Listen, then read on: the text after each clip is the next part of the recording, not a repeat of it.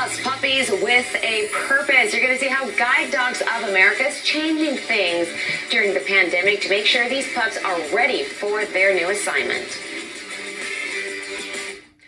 Can take about two years or so to train a working guide dog. Stopping this uh, training now because of the pandemic could have a really big impact further down the road for somebody who will eventually depend on one of those dogs. Yeah, Guide Dogs of America had to make some pretty big changes quickly, and we showed you recently the video of a new litter of potential guide dogs meeting their puppy raisers in Sylmar through a drive-through. Now, joining us now to tell us more about the challenges and benefits of this new way of training is Carol Ann Heinis. She is the canine development lead at Guide Dogs of America. And Carol Ann, you got to make a really quick transition to online training. We understand these puppy raising sessions are now done over Zoom. What's that been like for you?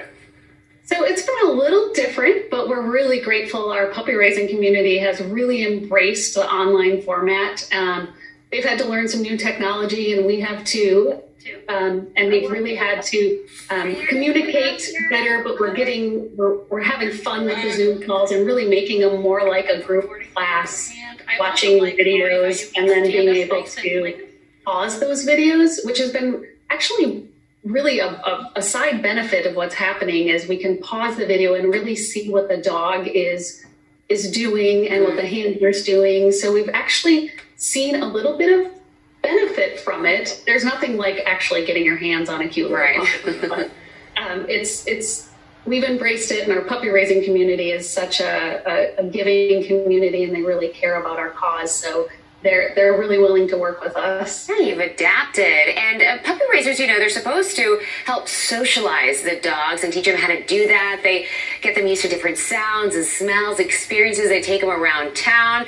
Places are closed right now, though, during this pandemic. So, what are they doing instead? How did they adapt to that?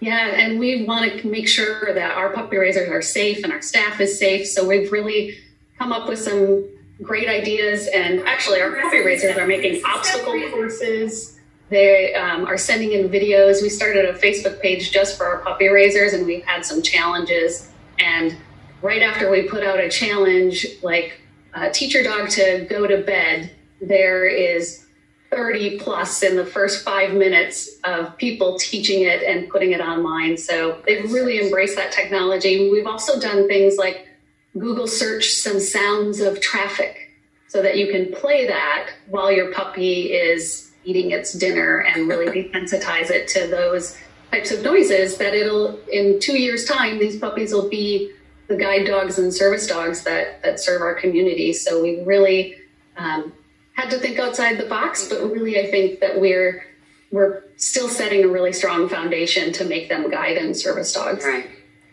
All right, Carol Ann Heinis, thank you so much from Guide to Dogs of America. Thank you for joining us and good luck with all that training. Yeah, those puppies are so Yeah. cute. Thanks, Carol Ann.